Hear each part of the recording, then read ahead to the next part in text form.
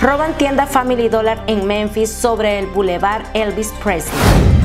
La policía de Memphis dio a conocer el siguiente video, donde se muestra un sujeto entrando a la tienda Family Dollar, ubicada en 5355 Elvis Presley Boulevard. De acuerdo a las autoridades, el ladrón amenazó con una pistola a los empleados antes de tomar el dinero de la caja registradora. Si tiene información para identificar al ladrón, llamar al 901-528-2274.